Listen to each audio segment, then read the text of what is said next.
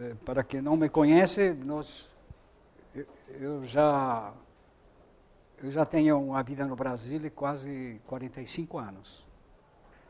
E eu me sinto arquiteto brasileiro, represento o Brasil em, em, várias, eh, em vários eventos nacionais e internacionais.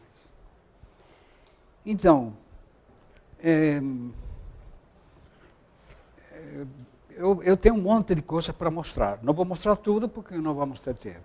Mas uh, o, o Rubem eh, me acabou de dizer que vocês estão estudando algo a respeito de alguns projetos nossos, como o Casarão do Carmo. Eu, eu não sei como o Rubem apresentou, acho interessante a gente fazer uma outra apresentação, pra, porque isso pode, já que vocês conhecem o projeto, pode gerar um, um debate que pode ser positivo para todos nós, principalmente para mim. É, porque é, é, esse tipo de crítica no Brasil se faz muito pouco, não? E, e o enfrentamento de ideias, eh, no qual as escolas deveriam ser os espaços adequados para esse enfrentamento de ideias, é também bastante difícil. Hum, bom, eu, eu vou pensar, começar por um assunto que eu fiquei um pouquinho assustado. É, nós fizemos faz poucos meses atrás um, um, voo de helicóptero para é, é, para tirar fotografias junto com o, o, Finotti, que é um fotógrafo que todo mundo conhece, e para tirar fotos de, de, de, dos trabalhos que temos feito por aí. Não? Então, eh, percorrimos Osasco, fomos até Guarapiranga, eh, eh, fomos até a Zona Norte a ver o, o, Rio das Pedras lá, que fazia muitos anos que a gente não via, para ter fotografia para uma apresentação.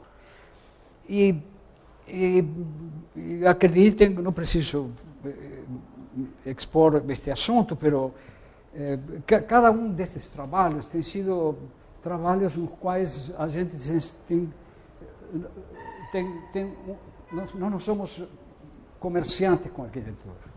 A gente se envolve se envolve de corpo e alma com os trabalhos.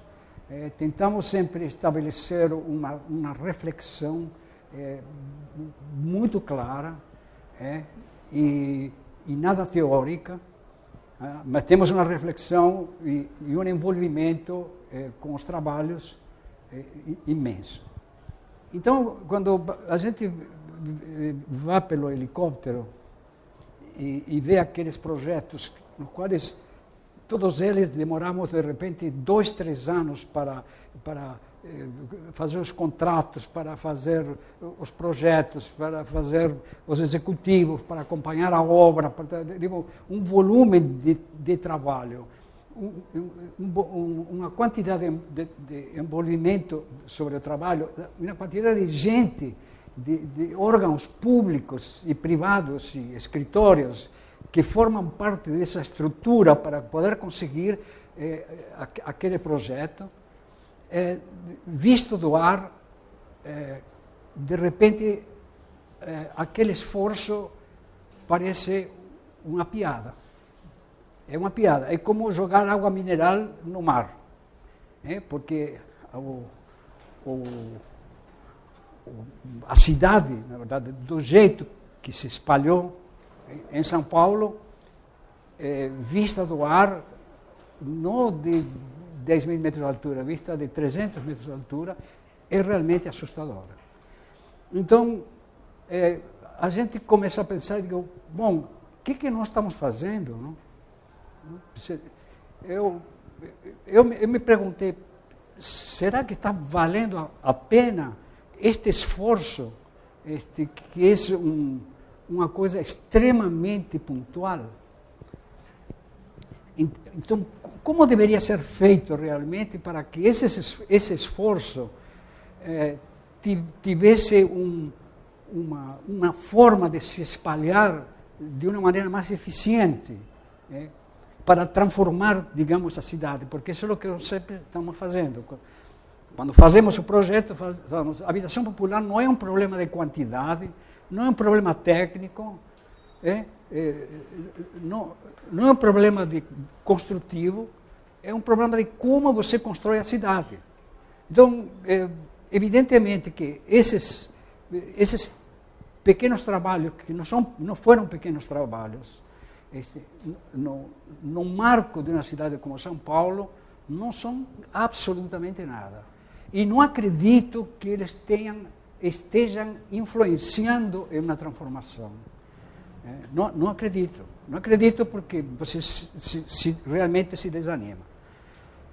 É, então começamos a pensar é, é como a gente poderia é, estabelecer uma condição diferenciada. Mas isso depende do poder público, porque quem quer trabalhar na cidade depende do poder público. E depender do poder público depende de, su, de suas políticas, depende de sua, de, de, sua estrutura este, administrativa, que, que, é extremamente complicada. Vários que trabalham aqui no, no, nos concursos estes que se, se fizeram ultimamente no Rio e em São Paulo, este, são, estamos vendo que eles estão resultando em um certo fracasso. Não? Fundamentalmente do Rio de Janeiro, eu acho que é um, é um fracasso. E de São Paulo, em certa medida, um fracasso. E, e, e, e, o fracasso é muito maior quando a gente analisa historicamente o dinheiro que está sendo envolvido na, na, no plano do, do, do, federal, com Minha Casa Minha Vida, e, e os resultados que estamos obtendo, essa condição histórica, que é absolutamente excepcional, o resultado está sendo realmente um desastre. Eu, pelo menos, isso é o que eu penso. Então, só vou mostrar uns números assim, um pouquinho preocupantes. Eu, eu não sou eu não sou nem sociólogo, nem antropólogo, nem esses especialistas em números, né? porque eu acho que, que, que, que a cidade não se transforma com um problema de números. Não? Não? Eu digo, tem muita gente ainda que acredita, a Caixa Econômica Federal acredita que a qualidade da arquitetura se faz através de um manual de números. Não? Entendeu? Esse, esse, esse é um erro escandaloso. Então, sete bilhões de habitantes hoje se considera a população do mundo, dos quais 3 bilhões, 50%, não, 3 bilhões moram nas cidades. Pode para o seguinte. E um bilhão se considera que moram em condições, eh, digamos, eh, eh, em alguns lugares podemos chamar de favela, eu chamo de, de moram em áreas urbanas críticas. Aqui podemos comparar, de 7 bilhões, 3,5 moram em cidades, 1 bilhão, 28% da população mora em áreas urbanas críticas. Isso, é, a, a, a, digamos, a projeção, estas projeções não são para acreditar muito nelas, nós já vivimos várias épocas passadas em que as projeções, já para o ano 2000, era que o mundo era impossível de, de ser sustentável. Não? E passamos o ano 2000 e nós estamos vivos ainda. Não? E, eh, de 7 milhões, desculpa, então de 7 bilhões para até 2040 passamos para 9 bilhões. Esses são números. Não? O seguinte, então, eh, desses 3 bilhões de, que estão morando nas cidades, nós vamos ter, em 2040, 72% da população mundial, 6,5 bilhões, morando em áreas urbanas. Em áreas urbanas não, morando em cidades. Não? Então, quer dizer que nós temos, vamos ter um crescimento das cidades de 150%. Nós temos no Brasil, coisa curiosa, as, as, a população se, se concentra nas cidades, 86% da população está concentrada nas cidades. É ainda maior que nos Estados Unidos. Curiosamente, a China tem um índice relativamente baixo, mas com uma tendência a subir. É? Argentina e Uruguai, curiosamente, estão praticamente iguais. Ou seja, tem. Bom, no Uruguai todo mundo mora em Montevideo, então é evidente que a concentração urbana quase lógica. Isso está fácil. Esse, o único número confiável é este aqui, não tem dúvida. Tá. Depois, na Índia, ainda temos uma vida este, interior não urbana, é? e no Japão, eu acho que também todo mundo mora em Tóquio. É? O resto está vazio. Então, temos que nos preparar realmente para uma. Eu me pergunto, em mãos de quem está a cidade? Está em mãos dos funcionários públicos? É, nós estamos vivendo em São Paulo, no Rio, em Salvador, nós estamos, nós fizemos, estamos fazendo projetos para o poder público que nunca vistos, não? projetos de, assim de, de, de, planejamento urbano é de, de 1.600 hectares em São Paulo, o Arco do Futuro era um projeto de quase o tamanho de Manhattan, não? coisa de louco, não? também. Era, digo, eh, analisaram uma, um pedaço da cidade que tem tamanho de Manhattan. Eh, em Salvador estamos fazendo áreas de 25 quilômetros quadrados dentro da cidade. E isso é uma coisa nova. Então, quer dizer, existe, de repente, um despertar em qual este, as, os responsáveis, não? os poderes públicos, inclusive as, as escolas, não? porque, digo, 20 anos atrás, ou 30 anos atrás, nas escolas, a questão urbana não era um problema a ser estudado. Bom, agora parece que estamos percebendo que, que assunto da cidade, alguém tem que se responsabilizar por ela. Não? Então, em mãos de quem nós vamos deixar? Então, na verdade, até hoje, isso ficou em mãos de, de, de digamos, da pressão imobiliária, está em mãos da, das questões viárias e rodoviárias, mas os, os arquitetos e urbanistas brilham pela ausência. Então, na verdade, nós somos, nós somos responsáveis por este, o exercício deste, desta área do conhecimento. Eu, eu, eu, se, nós, se nós não assumimos este, isto, eh, nós vamos perder a, a grande oportunidade que, que, pela qual o Brasil está despertando agora.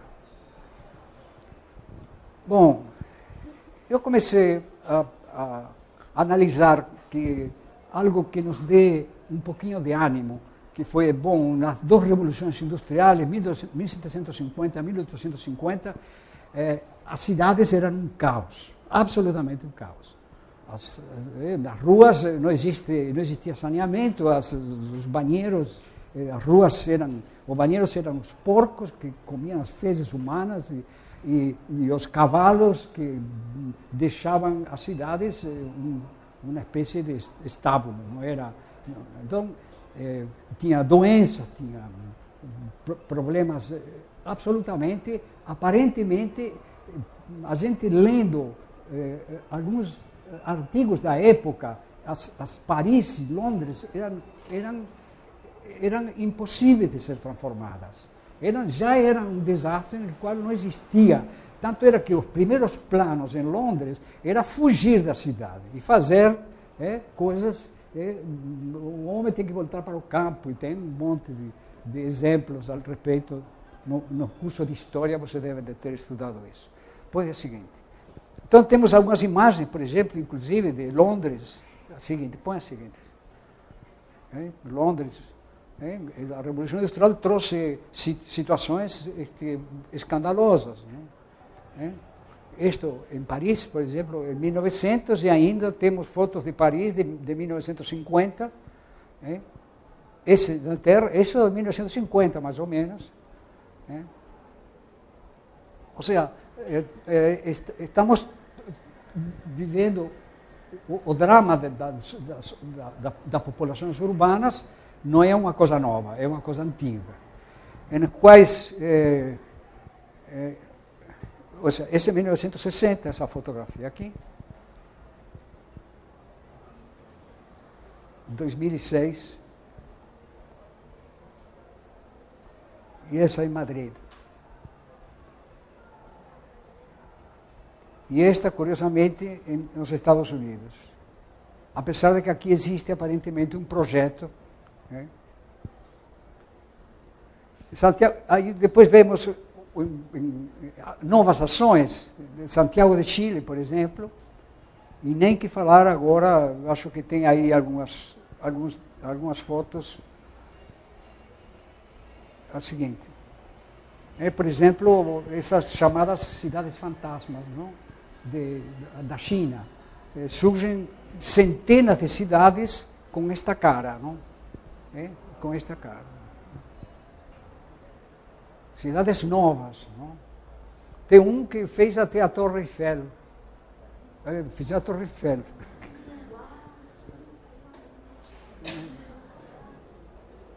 Na China, isto é recente, não? Isto é recente.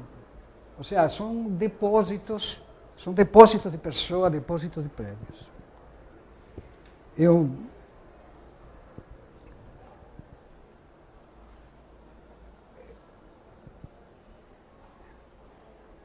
Então, então, é, é, é, para aí. Então, eu, eu, muitos de vocês já conhecem esse projeto nosso de Paraisópolis. mas eu vou insistir em colocar para vocês o, o que é importante, que não é um projeto, é uma reflexão. É uma reflexão que, que nos dá uma. Eh, eu acho que para mim é uma, é uma luz é, sobre a qual nós podemos é, extrair desta reflexão um, algo que está, digamos, além do projeto. Então, você tem uma condição destas aqui, tem várias aqui. Isto, eh, Paraisópolis, eh, o Rubem falou uma coisa, essa é quase a caricatura de, de, São Paulo, não? da sociedade de São Paulo. Não? Isto convive dentro das áreas mais ricas da cidade de São Paulo nós temos esta condição. Esta área são, são eh, Idele Salvati fez um livro que vocês devem ter já analisado que se chama Cidade em Pedaços, não? E ela estabeleceu uma fórmula eh, para medir a exclusão dos, de, digamos, da, das áreas da população urbana, o grau de exclusão. Então ele fez uma fórmula complexa onde você mede o grau de exclusão. Então, nós, quando, quando começamos a analisar Paraisópolis, nós começamos a analisar essa, essa fórmula da exclusão.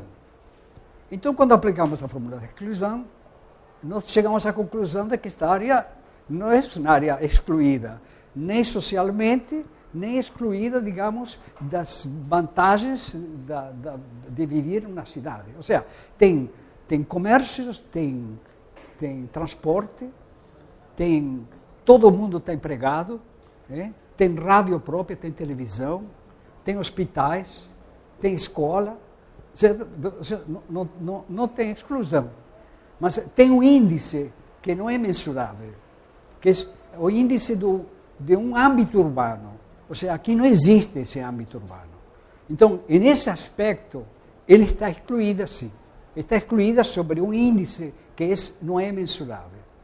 Toda a história da, da, do, do, fazer arquitetura vai sempre eh, desses dois opostos.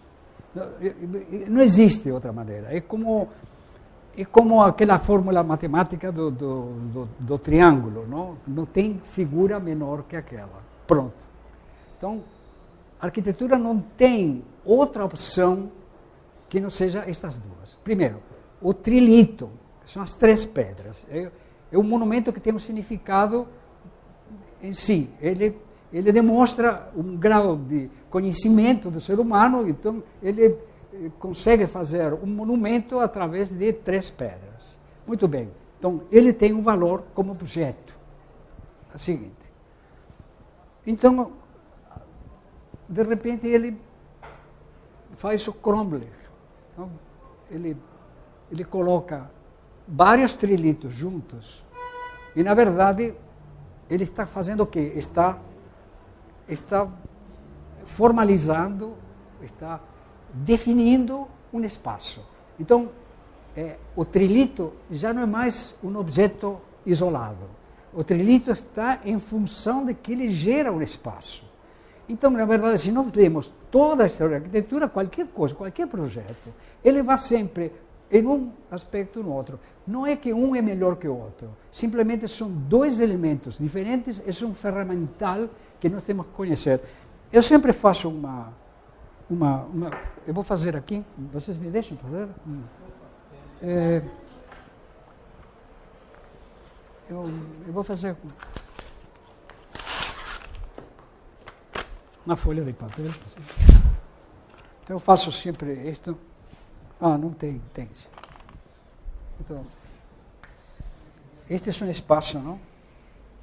Certo? Então, eu, eu tenho aqui um, uma forma. Aqui. Então, eu tenho um, boneco aqui. Eu coloco o boneco aqui. Onde o boneco está? Então, antes de fazer isto, é, é, esse espaço aqui, A, é um espaço difícil de descrever. Enquanto que este espaço B aqui, é o espaço mais fácil de descrever. Eu tenho um jeito fácil de descrever um espaço difícil de descrever. Então, eu tenho aqui, eu estou parado aqui. Eu estou onde? Estou fora do objeto, certo? Estou, digamos, no espaço externo. Se eu me coloco aqui, onde eu estou? Estou dentro do objeto. Agora, se eu faço isto, eu tenho dois espaços descritíveis. Este é um espaço descritível, facilmente descritível, e esse é um espaço descritível. Quando eu estou aqui, onde eu estou? Estou dentro do espaço A. E quando estou aqui, estou dentro do espaço B. Ou seja, existe uma diferença é, de, de, de visualização deste assunto quando eu estou aqui, que eu estou dentro ou fora, enquanto aqui estou dentro de um ou dentro do outro. Então, isso é. Vou passar a seguinte. Então, tem, tem um exemplo que é bastante seguinte, que é bastante. bastante é, em 1931 foi feito um concurso internacional para o Palácio dos Soviets. E eh, Le Corbusier não ganhou o concurso. Mas Le Corbusier ficou famoso, em todos os livros do mundo está este projeto que é extraordinário. Não? Eh, estamos em 1931, não?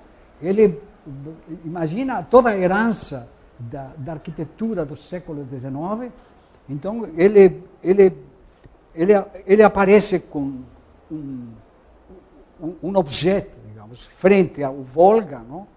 que seria o Palácio do Sol. Então, isto é o trilito. É, um objeto é, que tem sua força pela, pela sua forma e nada mais. Então, põe o seguinte. Aqui está, este é uma máquina é, absolutamente extraordinária. A. Então, curiosamente, no mesmo concurso, Auguste Perret faz a sua proposta, que era um francês que, que na verdade Perret era engenheiro, não? Acho que era engenheiro. Engenheiro arquiteto, mas era de formação de engenharia. Auguste Perret faz a proposta para o Palácio do Sol. E olha que curioso o que ele faz. Ele faz o cromlech. Ou seja, ele constrói até umas massas é, maciças apenas para definir uma praça, que era realmente o lugar onde o povo se, se, se concentra, que era um pouco a essência do comunismo. Não?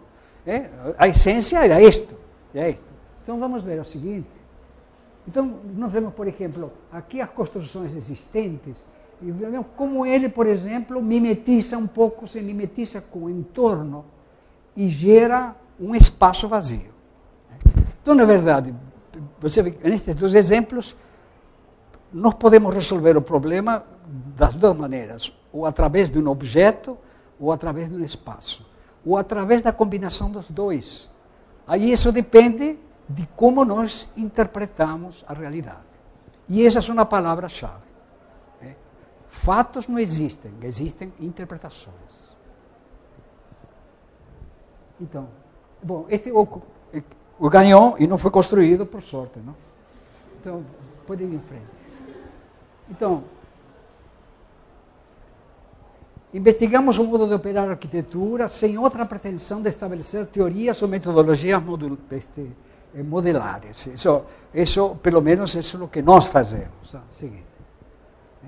Eh? Consideramos o problema da habitação, eu já falei para vocês, de interesse social como um problema de interesse urbano, ou seja, como construímos a cidade.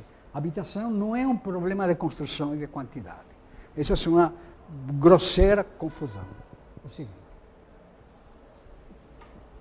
Pode passar. Então, aqui vemos, curioso, não? essa é uma cidade dentro da cidade. Quando fizemos, entramos neste trabalho, eh, aqui tinha mais ou menos 80 mil habitantes neste, nesta área, que eram. É, esqueci a área exatamente. Bom, já vamos lembrar. Bom, aqui dá para ver, esses são apartamentos de, de um milhão de dólares aqui em volta. Né? E aqui temos uma, uma, uma concentração, uma invasão que aconteceu pelos anos 60, mas tem uma característica muito especial. E aqui começa a reflexão que olhar do, do arquiteto urbanista sobre a realidade. Isto não está nos livros. Então, não deixa para trás. Então, aqui nós vemos umas marcas curiosas, ou seja, tem um, uma estrutura urbana que foi realizada, tem, tem asfalto, guia, água, esgoto, telefone e iluminação pública. Ou seja, foram feitos toda a urbanização, foram vendidos os lotes, mas os lotes as pessoas não construíram, demoraram a construir, e começou uma ocupação muito rápida, né? e ainda estão brigando, os proprietários estão brigando com a comunidade aqui, junto com a prefeitura. Então, quer dizer, aqui existe uma, uma, uma ocupação curiosa, uma ocupação sobre uma estrutura, né? uma estrutura urbana legível, coisa fundamental. Por quê? nós aprendemos que a legibilidade da estrutura urbana é uma condição eh, democrática, digamos, e de cidadania. Então vamos lá. Seguinte. Então, aqui temos os apartamentos, estes apartamentos que têm uma piscina por, por, por andar, imagina, com uma vista absolutamente extraordinária. Eu acho que eles não têm coragem. Eu, eu passei várias vezes tinha vários apartamentos à venda, porque acho que a pessoa não tem coragem de, de sair e usar a piscina na frente de, destas condições. Bom, isto, o, o Argan fala uma coisa que eu, eu tenho ela pendurada na minha sala, não? que diz as cidades são ambientes de existência e sabemos que a relação positiva ou negativa com o ambiente determina a saúde física, psíquica e moral dos indivíduos e grupos sociais.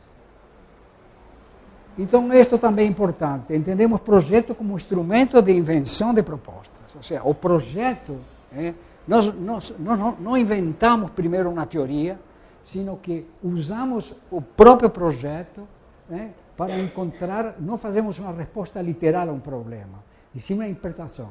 O objetivo é contribuir para uma constituição de uma cultura de projeto. Então, esta. Então, vamos passar isso um pouquinho rápido. Primeiro, começamos a entender qual é a, a, a estrutura pública é, que envolve esta área de invasão. Essa estrutura pública, é, começamos a entender quais são os elementos estruturais, quais são os elementos de conexão é, transversal é, é, e de que maneira, por exemplo, eu posso estabelecer uma centralidade que se conecte com lógica, com lógica, digamos, triangular, entre as escalas, as escalas do bairro e as escalas da cidade. Então, essa, essa é uma estrutura viária é, que pretende ler o, o, digamos, o entre os espaços eh, de, de, de, de, vida eh, diária e, e a conexão desses espaços depois com a estrutura da grande cidade. Então, é o seguinte, soltamos a, a, layer correspondente para entender a lógica de lo que nós estávamos propondo. Ou seja, quer dizer, bom, fizemos, tá bom, a seguinte, fizemos maqueta por uma coisa fundamental, para entender a geografia que nós temos por baixo de, de, aquela, de aquela área urbana. E nessa geografia encontramos pontos eh, curiosos, como os grotões, esse, os três grotões, essa área que acho que vocês estão estudando aqui. Não, não. Não? Depois vamos fazer aquela outra. Não? Jardim Colombo. Ah, esta. Não, Bom, a- e, e aqui tem o córrego principal, que, hum, eh, que são aqueles elementos que nos induzem a, a entender que podem ser elementos que podem nos dar identidade. O seguinte. Aí colocamos as casas uma a uma. Né? E- Bom, pode continuar. Bom, essa, essa é a, realidade eh, a autoestima de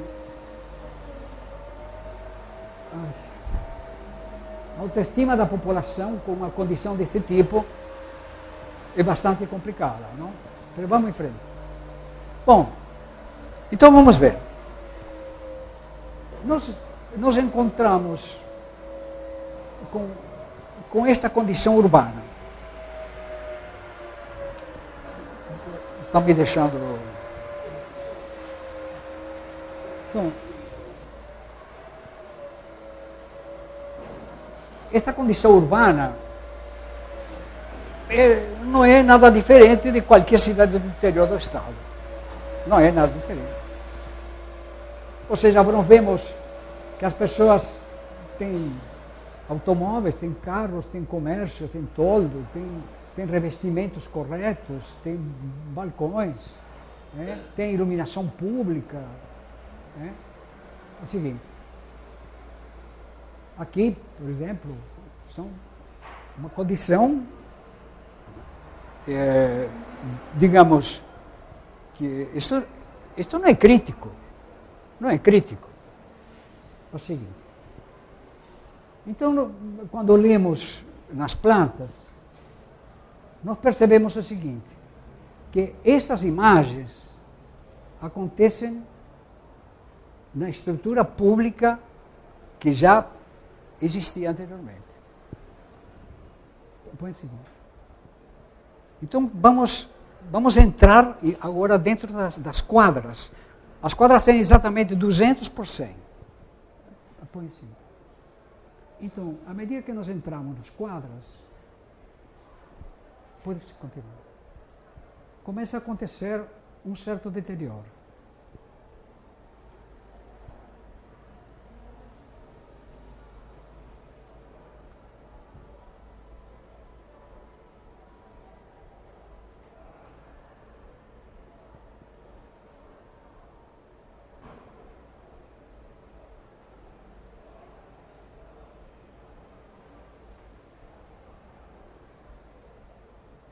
Então, então, na verdade, nós temos uma coisa curiosa.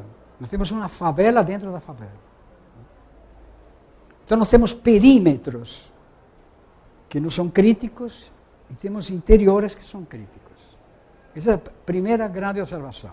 Então, essa grande observação nos, nos diz o seguinte: bom, se eu construo uma estrutura pública de qualidade legível, conectada eh, e, digamos assim, reconhecível como uma estrutura urbana de, estrutural, a pessoa que está na frente dela, ela se sente cidadão.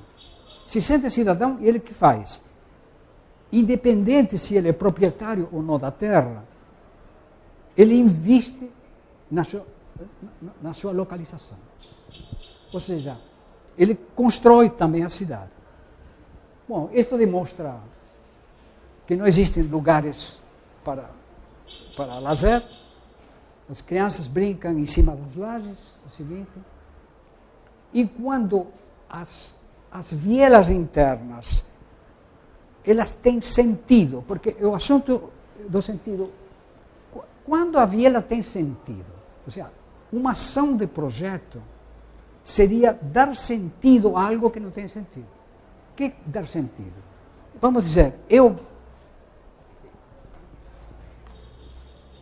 eu tenho acesso a uma viela aqui, eu tenho acesso a uma viela aqui, e se essa viela aqui conecta dois pontos reconhecíveis na estrutura preexistente, ela tem sentido. Se ela chega aqui e volta, então ela se torna um beco sem sentido, que pode ser perigoso e que não é reconhecível. Então vocês veem que apenas uma biela que tem algum sentido, ela já é usada para fazer pelo menos um elemento de comunicação. Ou seja, é um elemento de relação social, que é absolutamente fundamental. A seguir. Então, este é o ponto que eu queria chegar, que é o ponto mais importante de, de, de, da reflexão.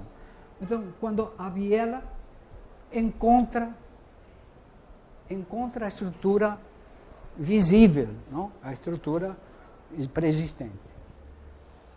Então, de repente, esta é uma boa solução. Vamos então.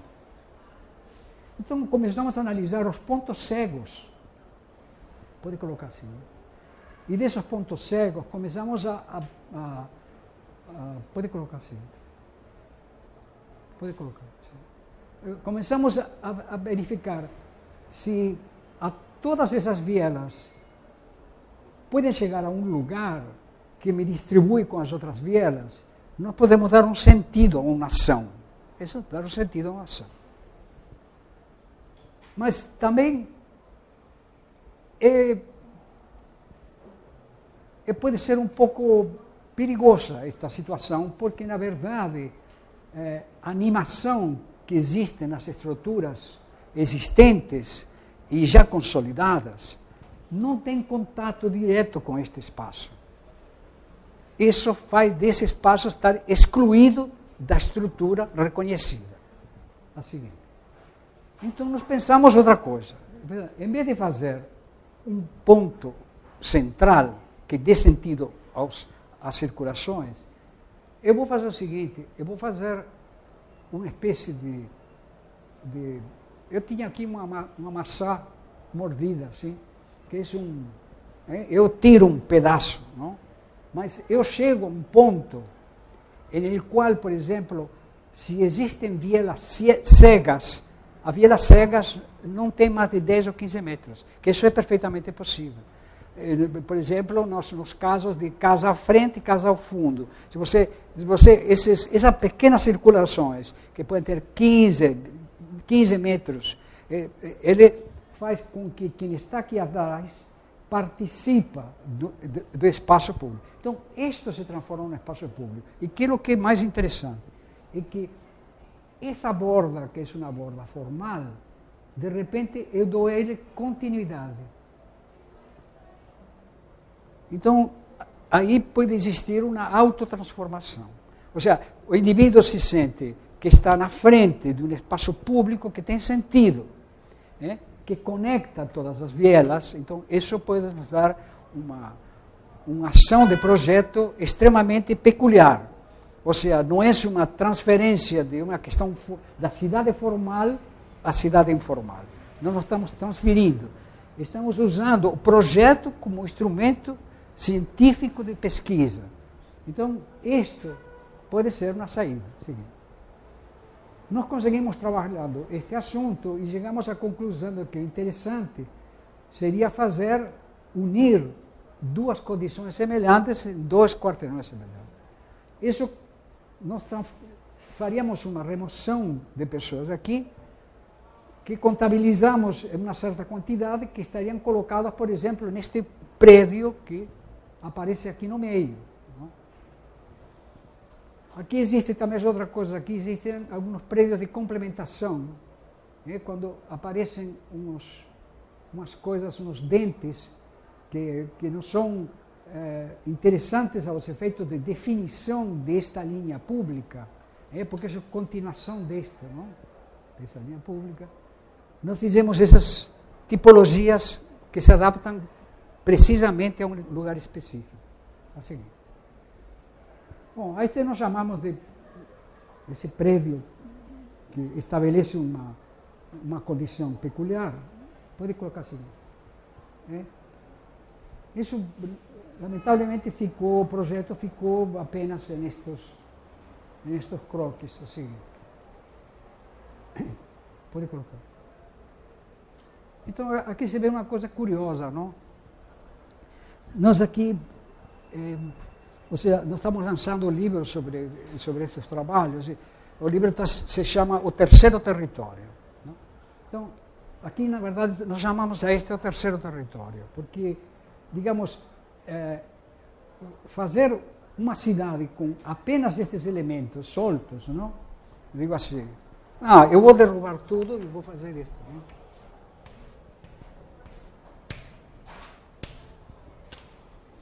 Bom, isso, na verdade, estou substituindo um território por outro, não sei qual dos dois é melhor. Então, mas a mistura dos dois é que dá um novo sentido uma nova lógica. Não?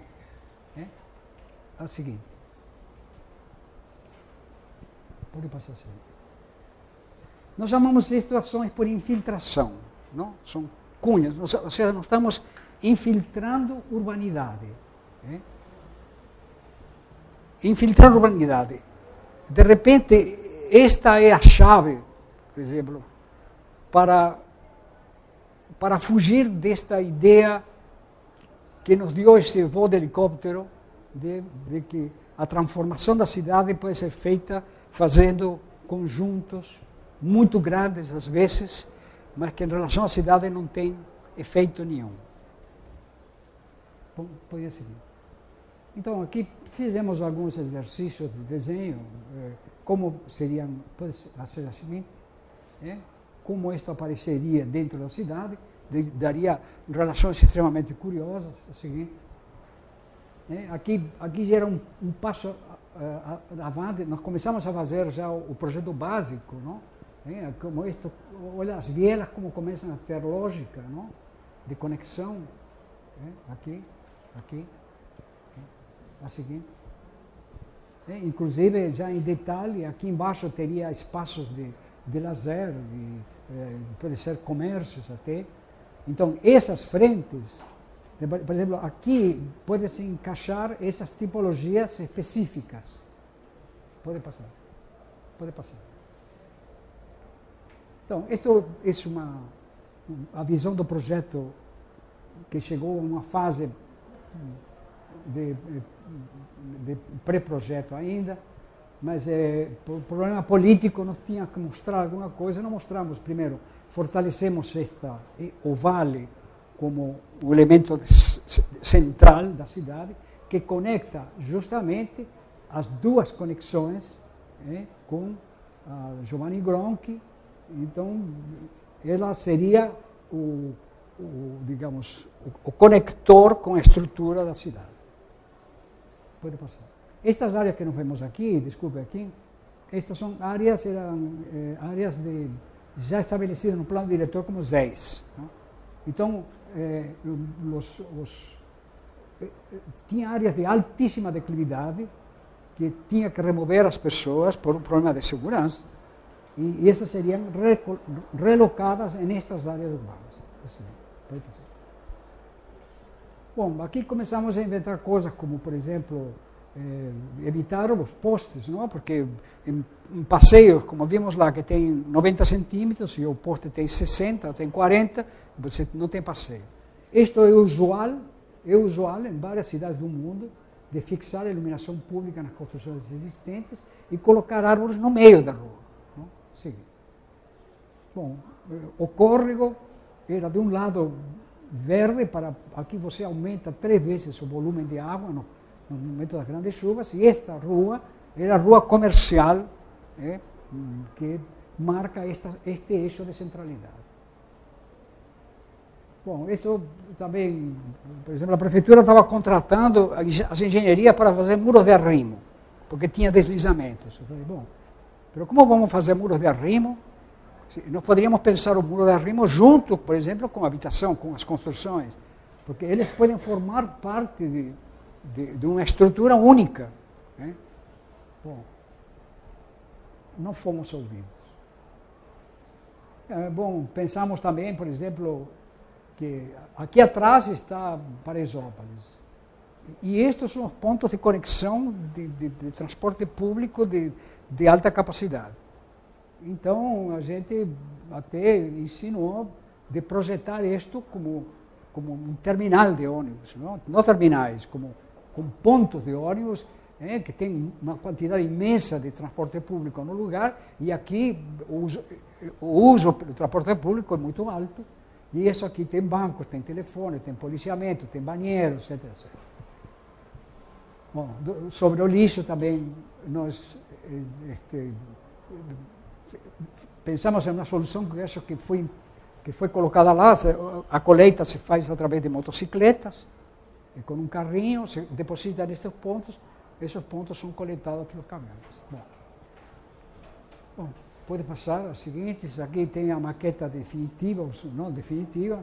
Essa maqueta foi para, para a Bienal.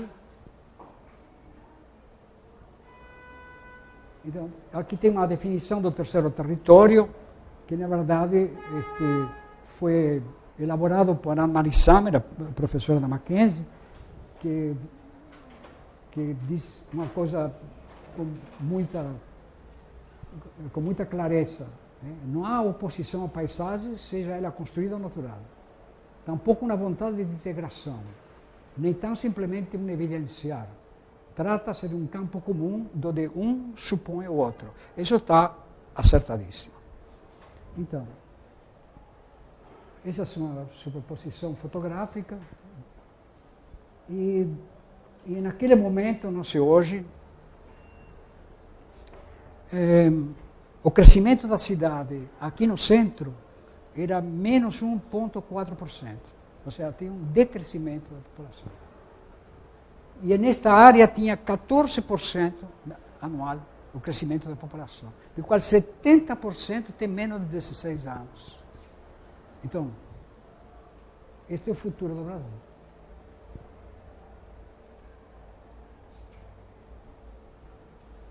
E isto é muito bonito como conceito, como ideia, não? Que é o que nós fizemos. A gente desenha a cidade, mas a, cidade nos desenha e nos diz como nós temos que fazer. Isso é o que nós fizemos. Acredito. Eu acredito. Então, é, é, tem gente que diz, puxa, que ideia interessante, que novidade. Não, na verdade, não, não tem novidade nenhuma. Não, o que nós fizemos não tem nenhuma novidade, absolutamente nenhuma. É, depois da queda do Império Romano, a dispersão da, da, da, da população foi uma, uma calamidade, não? porque hum, as pessoas começavam a ocupar, eh, por exemplo, acampamentos militares dos romanos para, para não, não estar exposto às, às, invasões bárbaras. e, e começaram a construir com o que tinha na mão, pedra, palha, madeira. Então se fizeram, se fizeram favelas. Favelas. É curioso que estas cidades que foram depois do Império Romano, elas, elas se, se, começaram a transformar. Não? Suas, começaram a aparecer indústrias, começaram a aparecer eh, trabalho, começaram a aparecer eh, eh, uma população ativa. E, e, e as famílias que enriqueciam não saíam da cidade e formavam e, e montavam sua própria cidade. Então, quando, na verdade, quando chega o Renascimento, eh, início dos 400, eh, os, as transformações se fazem em cima das estruturas medievais. Então, a gente vai, eh, por exemplo, a Firenze, por exemplo, e, e você fica espantado quando você anda por umas ruelinhas, que às vezes tem ruelas que têm dois metros e meio, não? É, que são, não tem, as prédios não têm muita ventilação, e de repente você chega à, à, à Piazza da Senhoria, você fica maravilhado. Não? Então, quer dizer, este é um terceiro território, ou seja, existe uma superposição é, de um, uma nova estrutura sobre uma estrutura existente. Então, na verdade, nós fizemos isso. Nada mais do que isso. Então, nós não inventamos nada. Não existe. É, é, não existem coisas novas, existem materiais novos, mas ideias novas não existem. Existem interpretações novas. Isso é diferente. Na verdade, eu. Não sei se eu, aqui o professor Rubem ainda continua sendo músico, mas, mas é, eu aprendi isso com a música. Não? Na música você, você não tem. É, bom, eu até trouxe para vocês o assunto da música para falar sobre o assunto da interpretação. Então, põe, põe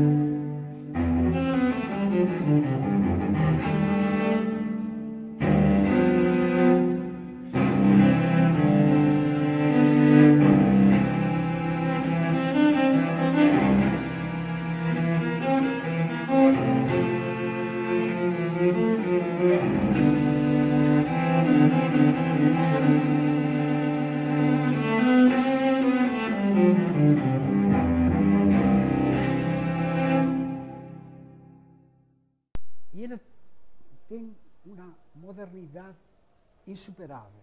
Então, em, uma palestra que o ano passado eh, aqui na, na, na, casa do Museu, Casa Brasileira, tem um arquiteto muito conhecido que se levantou e me perguntou uma coisa seguinte. Ele falou, Hector, você acha que o modernismo ainda está vigente?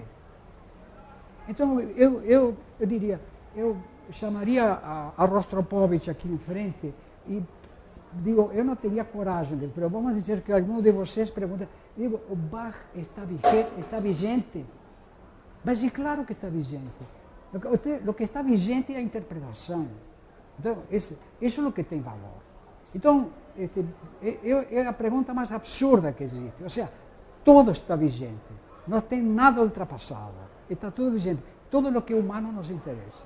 Então, eh, nós temos que olhar no passado. Por exemplo, eu, eu, eu, nós, quando nós fizemos o Estado de Fortaleza, e, e, e a base de, de, tem uma decisão eh, tomada na, na, estrutura do estádio que, que parte de, de uma reflexão feita por Palladio na, na, no, no della Ragione, em, em, em, em, não é Veneza, que está do lado de Veneza, é?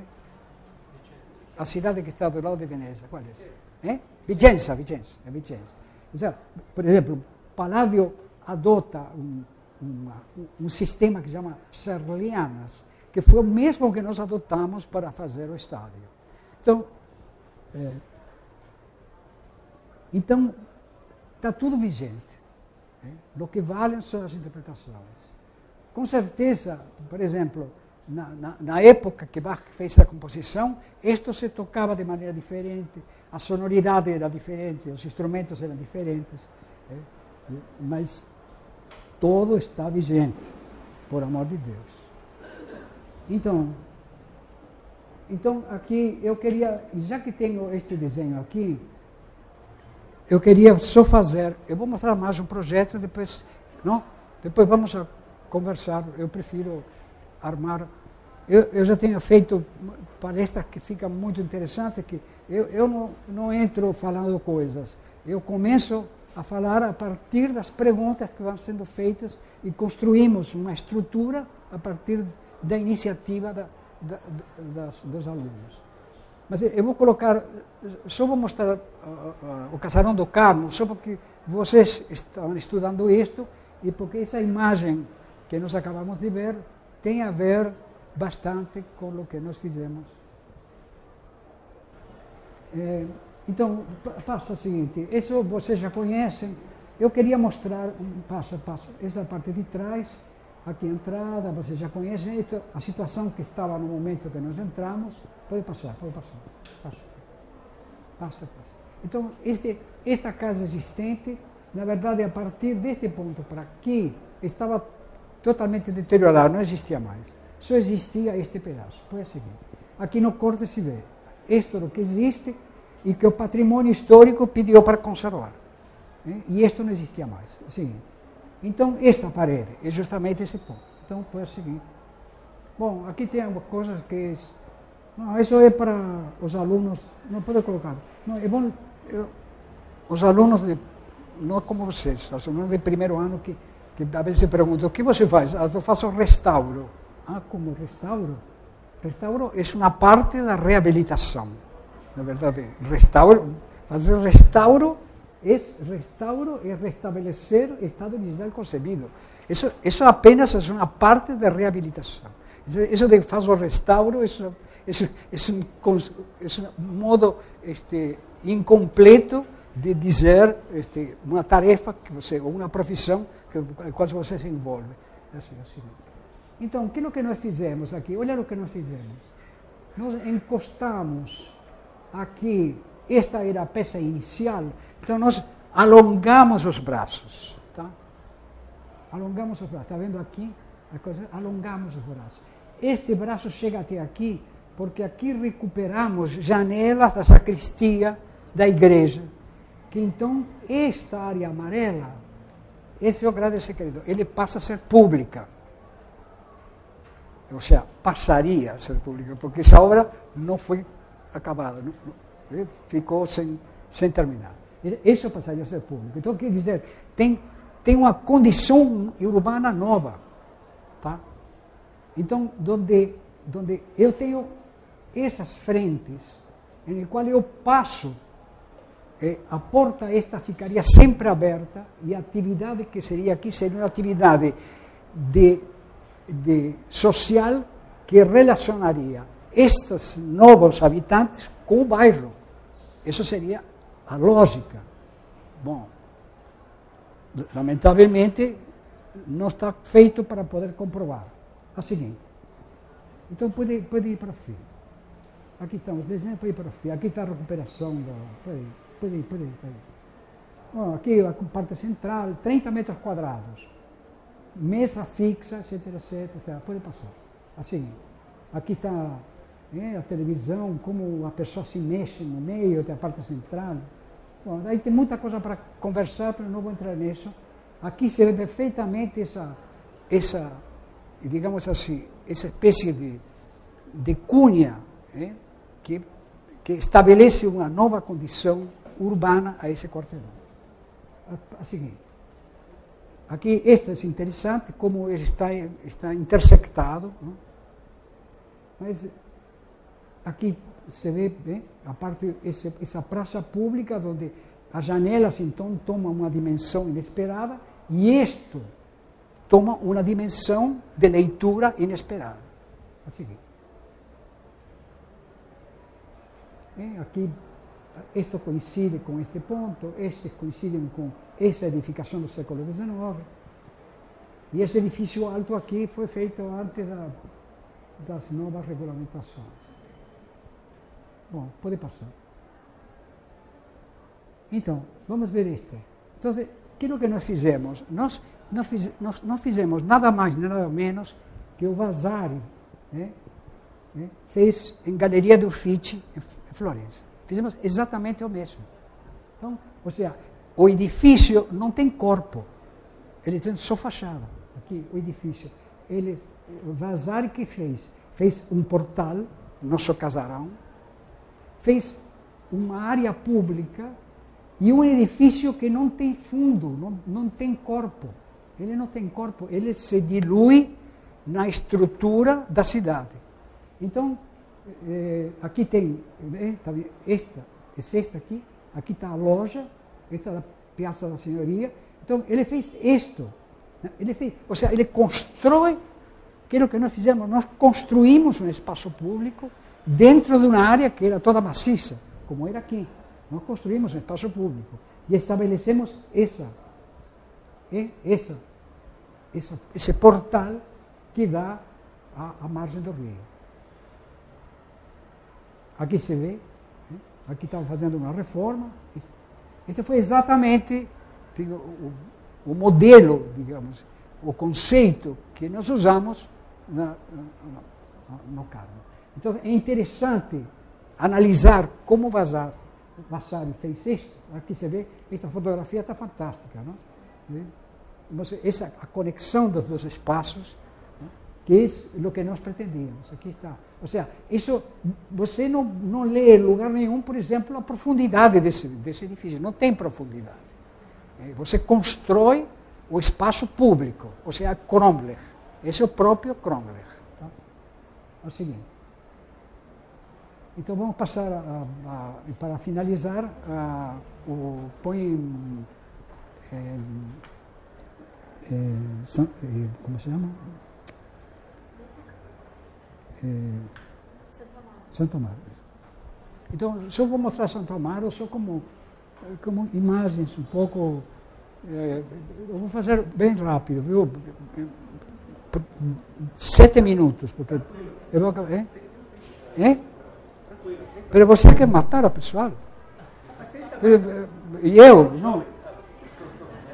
Não, não digo, digo, ouvir um cara falar uma hora e meia é, é realmente doce de leão. Santo Amaro, então vamos lá.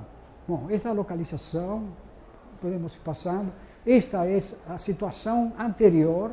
Aqui aconteceram vários desastres, tem né, inundações. Nós Outra vez fizemos, analisamos a, a geografia. Né? Euclides da Cunha dizia que com a geografia se faz a história. Não? Bom, isso não interessa agora. É, então temos aqui eh, coisas curiosas que se repetem. É o seguinte, quando constroem em uma, em uma diferença de desnível, aparecem prédios de quatro, cinco andares. A situação era esta, esta. Essas, aqui em cima tem uma rua formal. Isto parece a Bósnia. Não, aqui a, a, prefeitura teve que demolir isto porque morreram crianças, foi em uma chuva muito grande, o, o, o córrego subiu violentamente e as pessoas perderam tudo, foi um desastre. Então a prefeitura veio com os tratores e simplesmente levou as pessoas a outro lugar, demoliram tudo. Sim.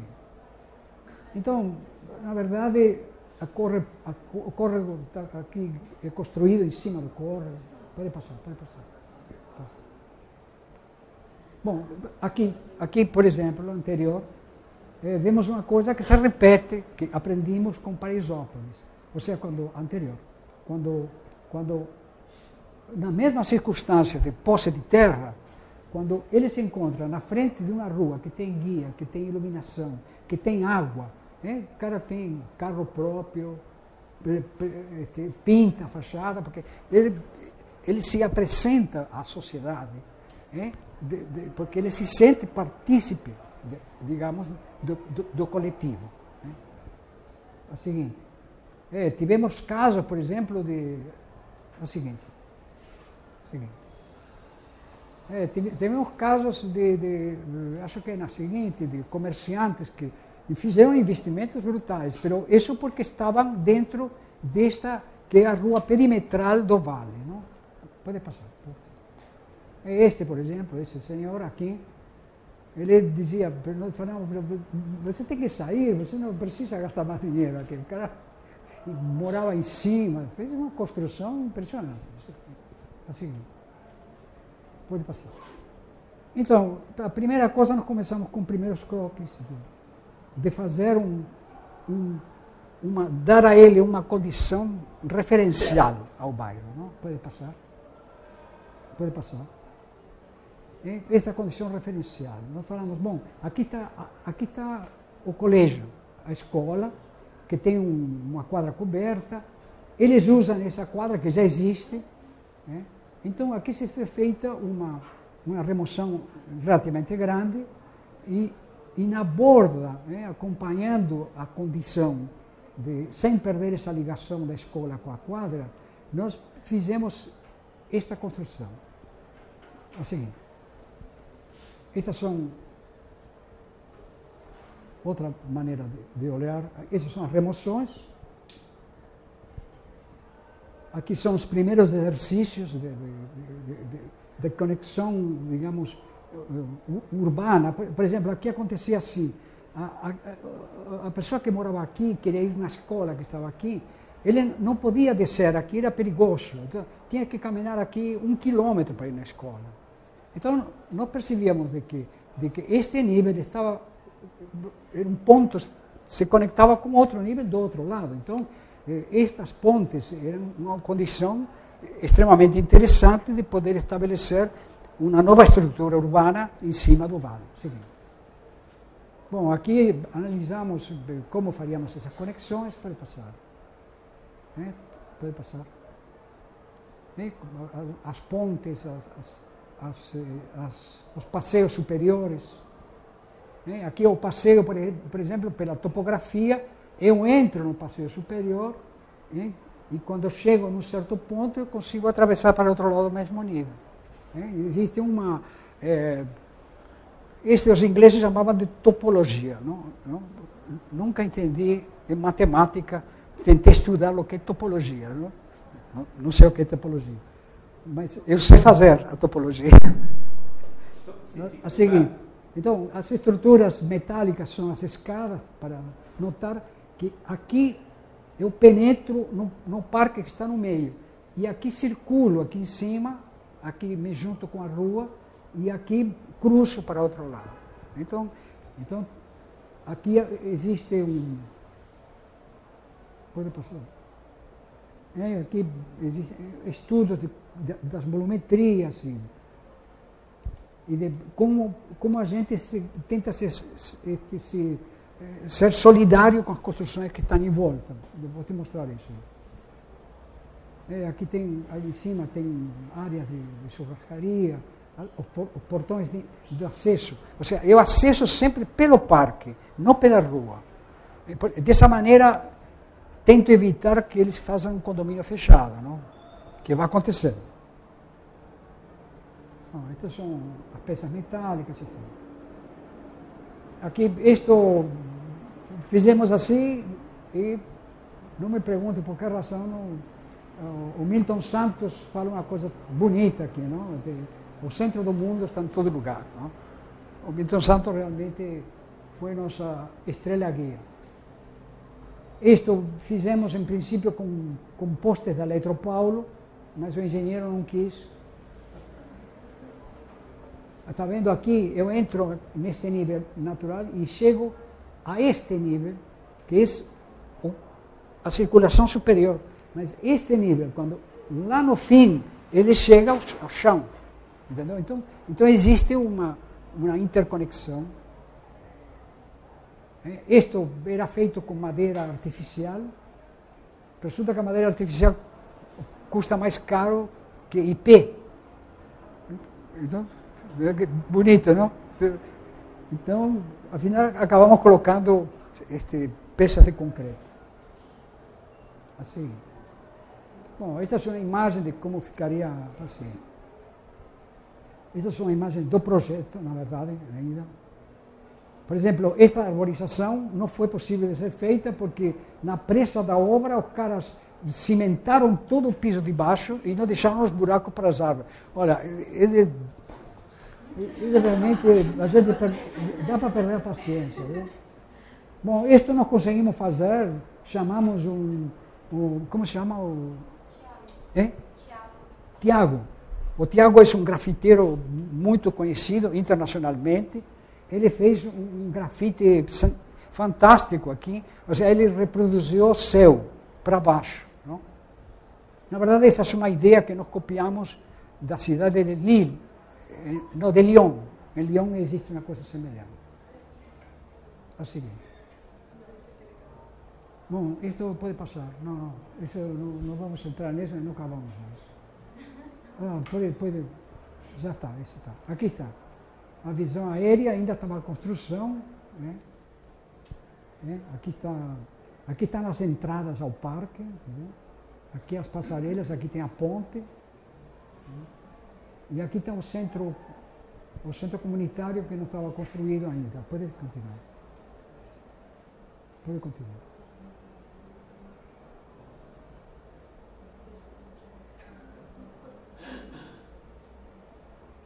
Por exemplo, eu vou contar.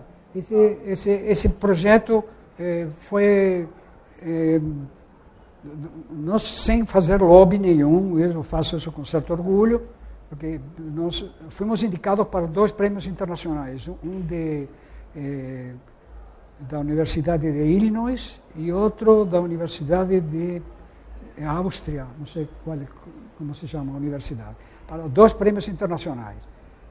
E, e, e, nos Estados Unidos estão vindo duas pessoas para ir na obra e fazer uma entrevista a gente. Não? Porque eles, eles, para dar prêmios, se asseguram que estão dando prêmio à, à pessoa certa e ao lugar certo. E vocês acreditam que, que os vizinhos tamparam as nascentes? Porque, porque aqui tem um córrego que corre entubado, porque não tinha jeito. Como a gente vai sanear um monte de água, corre por baixo. Mas tinha centenas de nascentes. Então, como vamos jogar a nascente no tubo de água que é um esgoto?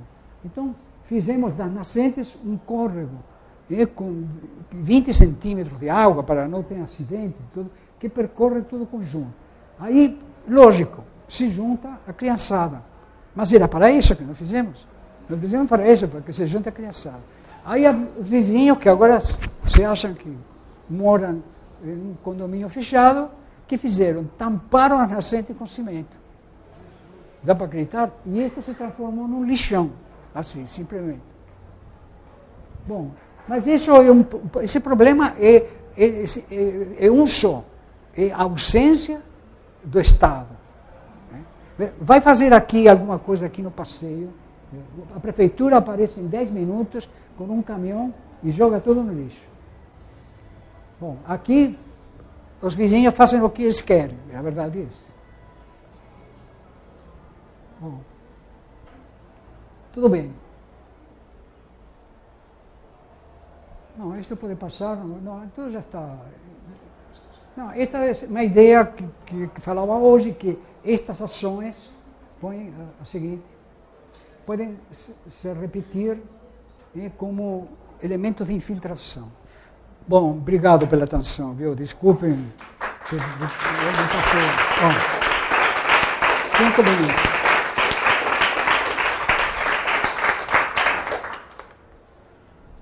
que o Ruben falou um pouquinho desse projeto que você mostrou, da, aquele pequeno no centro. Do Carmo. Do É? Carmo. Do Carmo, sim. É. E a gente tinha estudado, é, pelo projeto que a gente fez, esse tema do espaço público no centro, né? E é, eu achei curioso porque não tinha loja no térreo, porque não tinha alguma atividade comercial que garantizasse que esse espaço público fosse público, que, que não fosse fechado depois pelos moradores, e convertisse num espaço semipúblico, só do conjunto. Primeiro, não existe espaço semipúblico, por amor de Deus, tá? É como dizer, você, estou semigrávido. Não, não existe, ou está grávida ou não está grávida. Ou seja, ou é público ou é privado. Ou é público de uso privado ou é privado de uso público.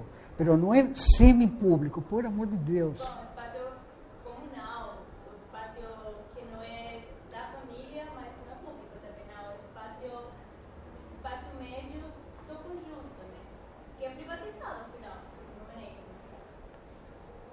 Não, entendi qual é a pergunta. Não, assim, ela colocou uma coisa aqui.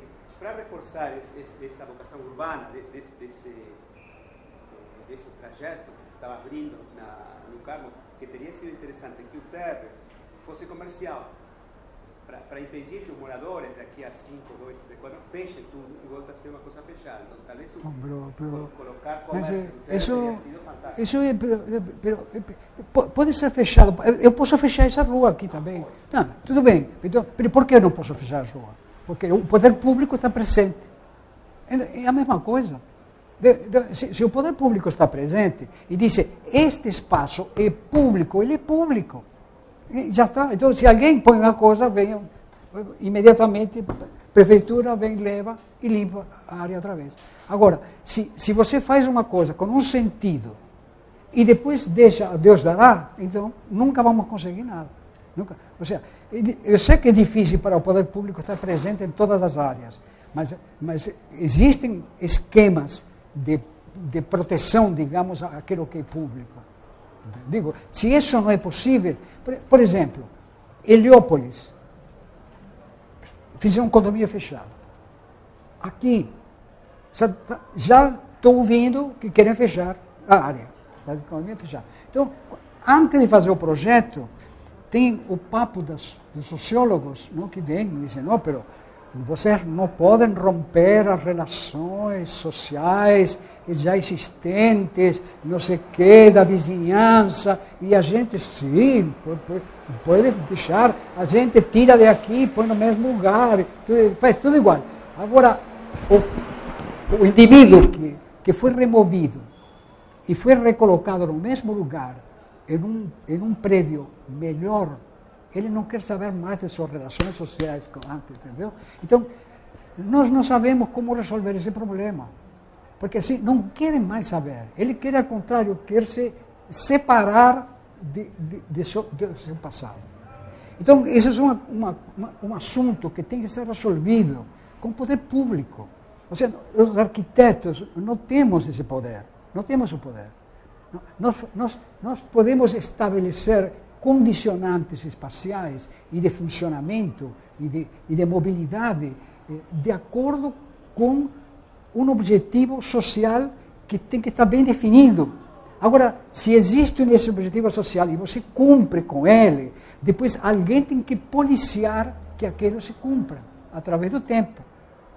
Porque, digo, se, se você também eh, abandona essa rua, o pessoal aqui ocupa essa rua em 10 minutos. Por que não ocupa? Não ocupa porque o poder público não permite. Então,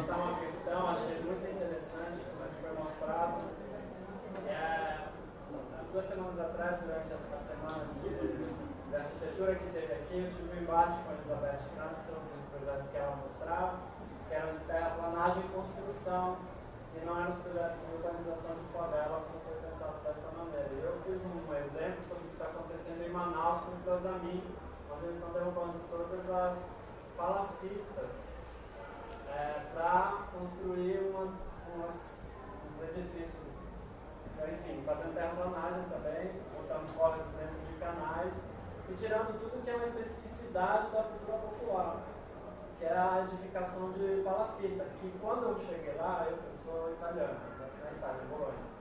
Quando eu cheguei em Manaus, eu fiquei, achei a coisa mais incrível eram as palafitas. Um lugar onde eu me senti beleza.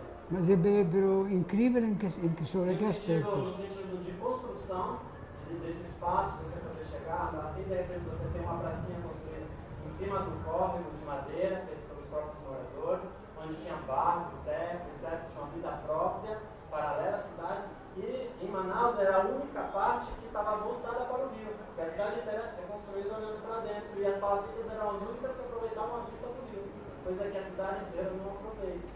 Então sendo todas derrubadas para construir. E quando eu vejo as, as, as favelas, né, quando eu entro nelas, eu tenho a mesma sensação de estar em Urbino, ou em Florença, como, como foi feito o exemplo válido né, que o programa fez. Eu nunca tinha visto feito, feito assim em paralelo, achei muito legal. E é exatamente a sensação que eu tenho. É uma arquitetura popular que vem de uma, de uma própria história, né? Até para a falta do Estado, talvez, mas que ela já se integrou, ela já está ali é, formulada. O que se necessita é simplesmente é, ajudar esse espaço a, a se encontrar também. Né? Então, acho muito, muito legal essa direção vocês propuseram com esses prédios é, inseridos dentro. Então, mas eu, eu quero te dizer, é, quando a gente mostra duas mãos desenhando, não? É, nós extraímos, digamos, a, da, do próprio lugar elementos que, que, que podem são é, uma, um bom modelo, digamos, para desenvolver e criar uma organização peculiar para aquele lugar peculiar. Mas com muito cuidado, porque nós sempre tentamos separar aquilo que é, é, é, como se diz? Patógeno. Como é? Patológico. Patológico. Aquilo que é patológico e aquilo que tem valor. Porque nós, nós não usamos a estética da pobreza como modelo. Isso fica muito claro. Não usamos a estética da pobreza. Eu não fico, eu não fico este, eh, emocionado para ver as palafitas, não. Não fico, não. não. Porque isso é um modelo de pobreza. Entendeu? Agora, extrair daquilo algo que pode ser positivo, então, sim, é possível. Pero, pero, pero, pero, separar muito bem do que é patoso.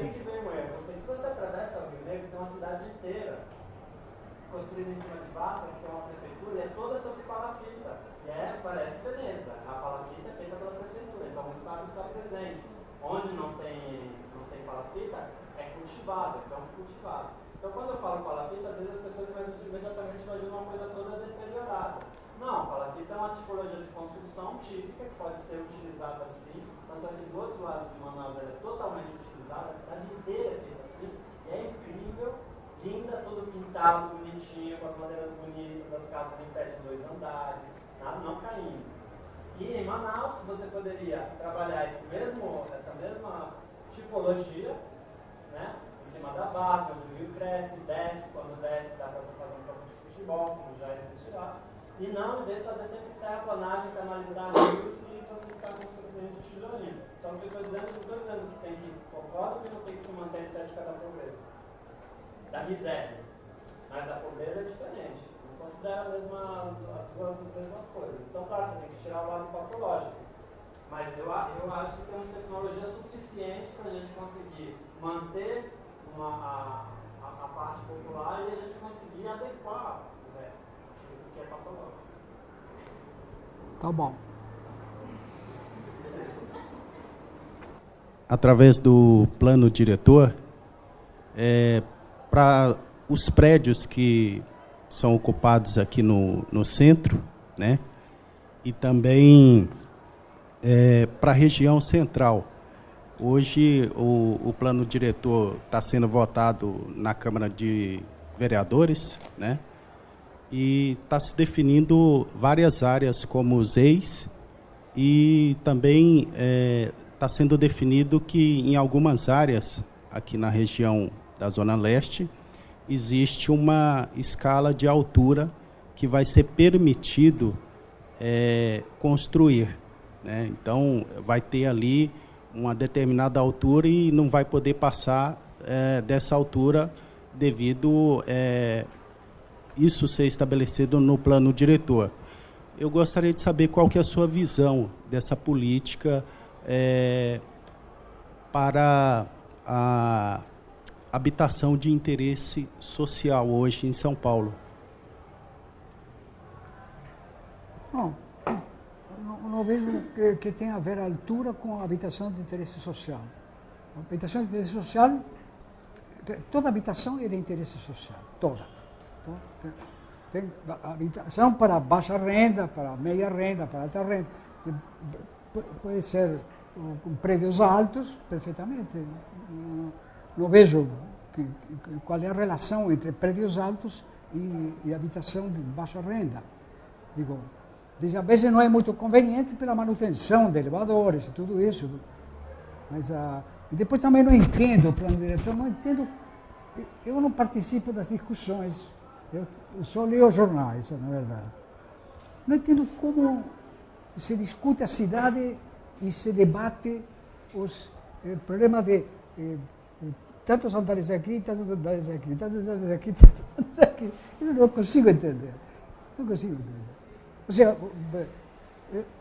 porque, porque essa é uma maneira de generalizar a cidade que, que, que, que leva a, a, a, situações como na Moca, por exemplo, desastrosas, não?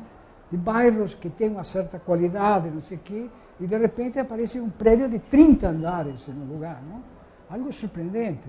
E além disso, por exemplo, tem uma eh, uma coisa que a gente discutiu muito, mas eh, nós fizemos um projeto da Moca e, e no fim esse projeto, eh, eu não sei em que situação está. Por, por exemplo, lá tem água no subsolo. Então, as pessoas que fazem? Fazem as garagens para cima.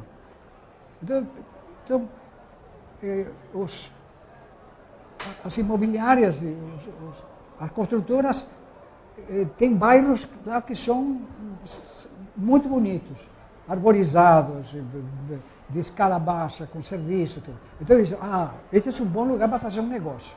Bom, sim, é um bom lugar, claro. O bairro tem todas as condições.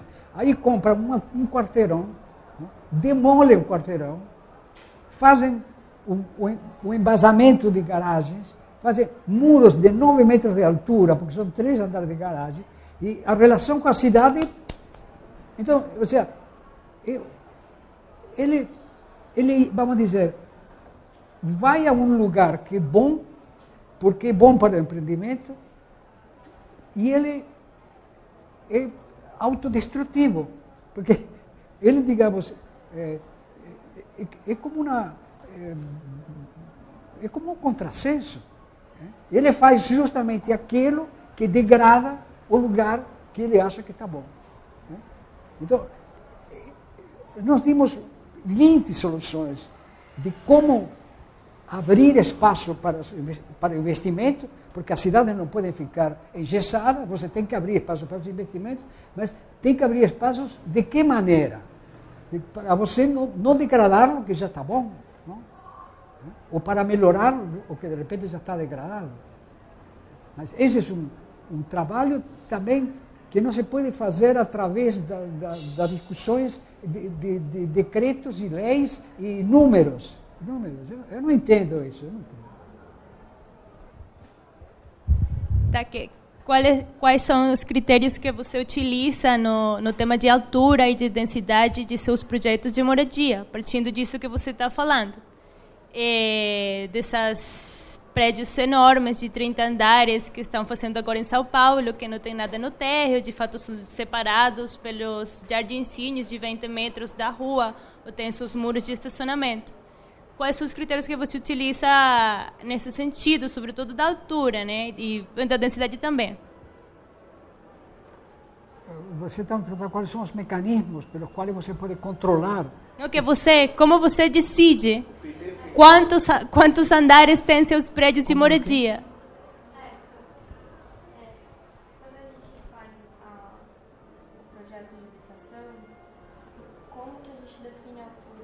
Ah. Ou as unidades, a densidade, né? As unidades habitacionais. Não, isso, isso, isso não é uma coisa genérica. Pelo menos para mim, a, a gente pega uma área como aquela de, da, da Moca, por exemplo, e, e nós temos uma ideia, que é essa ideia das ilhas de crescimento. Tá? Então, por exemplo, nós, nós pegamos, olha, aqui já tem, por exemplo, três edifícios absurdos. Então, vamos fazer o seguinte, vamos limitar esta área e vamos permitir aqui crescer o que quiser. Então, fazemos uma ilha de crescimento. Nas outras áreas, vamos limitar eles a outro tipo de crescimento. Então, nós estabelecemos sempre relações com a largura da rua né, e, e, e, os pontos de crescimento, sempre tentando não engessar a cidade. Você sempre tem que ter válvulas de transformação e de, e de, investimento, porque a cidade vive, a cidade é uma coisa viva. Então, então nós colocamos válvulas digamos, de, de grande investimento, de, com condicionantes urbanas muito claras. E, por exemplo, bom, eu quero crescer mais, mas eu posso ter, por exemplo, este embasamento tem que ter a altura do embasamento do vizinho de frente. E isto tem que ter uma largura tal que sombreamento não prejudica isso que está aqui. Mas isto pode subir até onde eu quiser, por exemplo. Então, tem um, um jogo este, que é muito delicado e muito difícil de fazer. Não é fácil de fazer. Agora, este, eh, resolver a cidade, dizer, não, aqui pode 7, aqui pode 10, aqui pode 20, aqui pode 30. Digo, isso, isso é uma perda de controle total, para me entender. Mas a, a definição da altura não é, é uma coisa difícil, mas não, não, não, é, não é um segredo. Eu posso te dizer aqui quais são alguns alguns mecanismos pelo qual a gente chega a definir, por exemplo, este, gabaritos. Né? Então, é, só, só, mais uma pergunta. É, esse, o projeto do Parque Novo Santa Amaro, ele foi alvo na publicação, acho que da revista Projeto, né?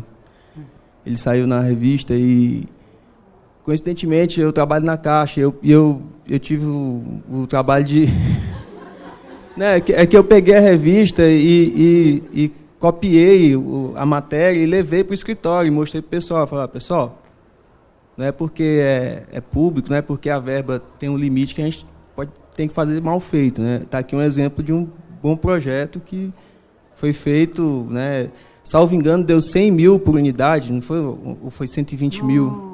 Não, 75 mil. Mas tinha, tinha, tinha, foi 75 mil, né? Sim. Então, é, é, é, por aí, não me lembro bem.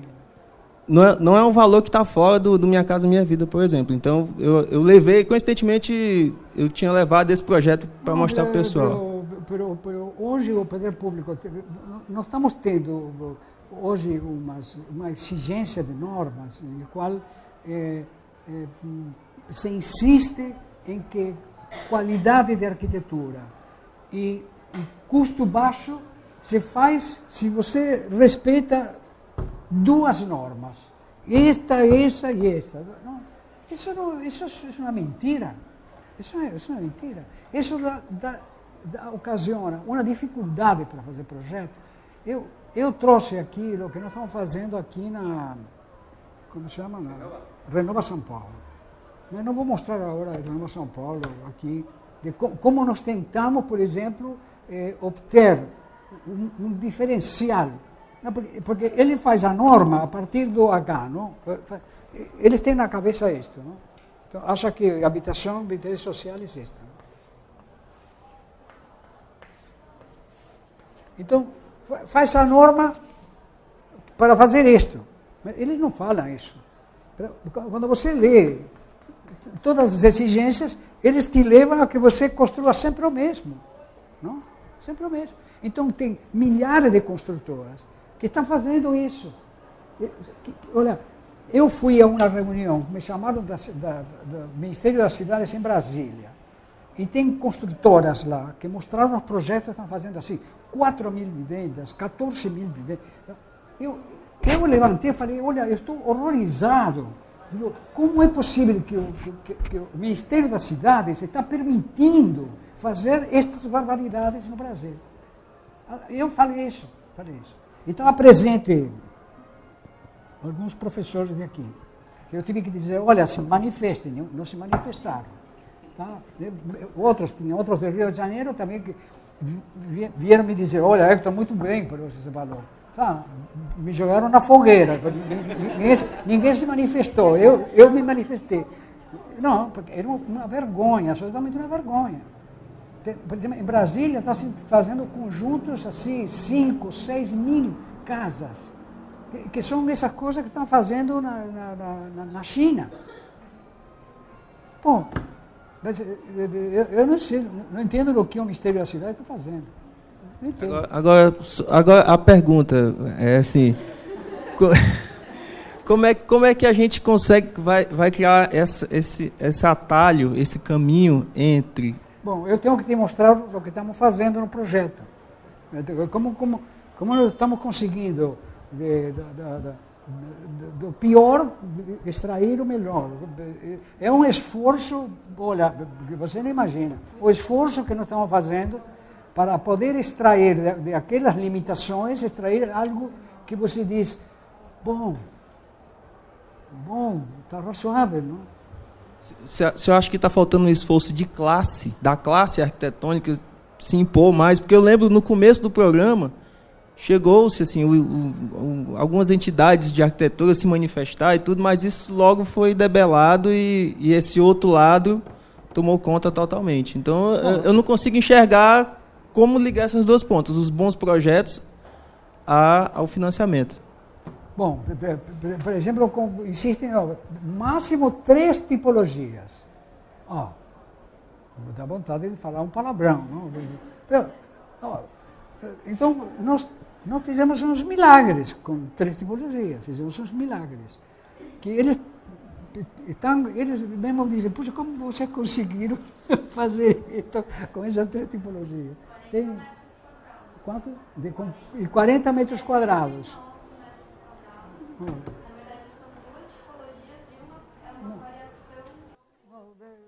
Vamos ouvir a música. Eu, eu, eu sei que você vai ouvir a música e você não vai querer ver tipologia. Não, eu, eu pedi para Mariana colocar a Schubert. Schubert.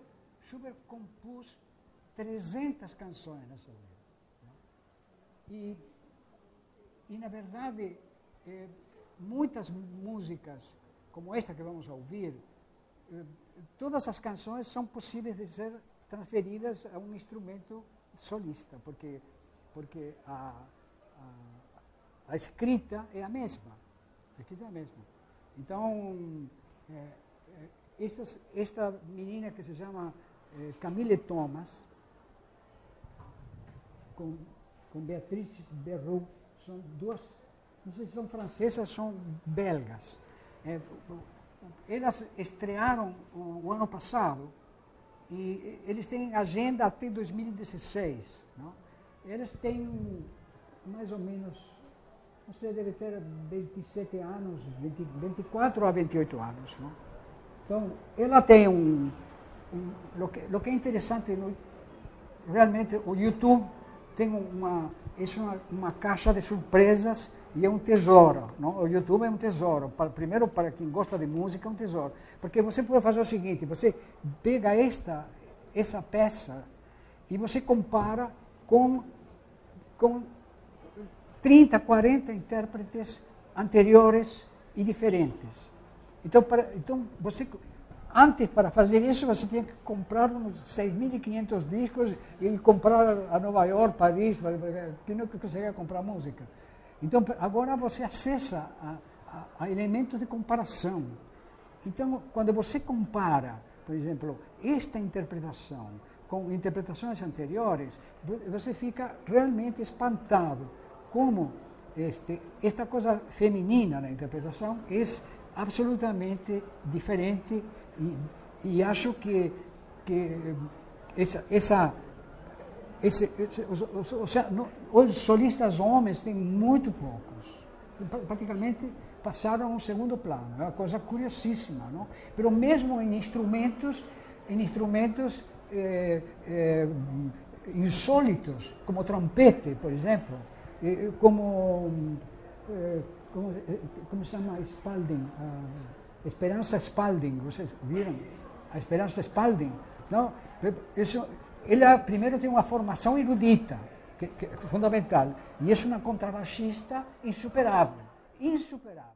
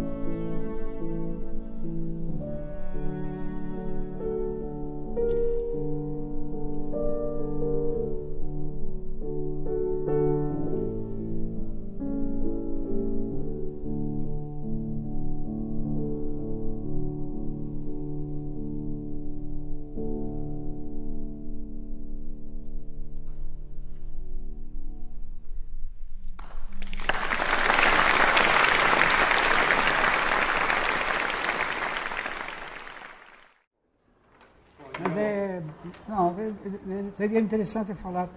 Nós, nós, nós até um tempo atrás, às sexta-feiras, no escritório, a gente ouve música. Eu, eu, você conseguiu participar, né? Não, às sexta-feiras no escritório. Nós fazemos um concerto, às sexta-feira, fim da tarde. É, eu, eu acho uma coisa fundamental. Por exemplo, quando tem um concerto importante, nós, o escritório compra a entrada para todo o escritório e todo o escritório vai na Sala São Paulo a ouvir. Nós fomos ouvir o, o, a orquestra de, de, Venezuela, aquela dirigida por, o, por aquele rapaz jovem, não me lembro. É? Sim, esse é o livro. Uma, uma, uma, uma interpretação surpreendente de, tocaram Shostakovich e Beethoven, realmente de arrepiar, arrepiar os cabelos. Tinha, tinha 14 contrabaixos e tinha dois timbais, que eu nunca tinha visto. Não? Uma, uma orquestra de mais de 200 integrantes. Não? Uma, uma coisa, um espetáculo realmente imperdível. Não?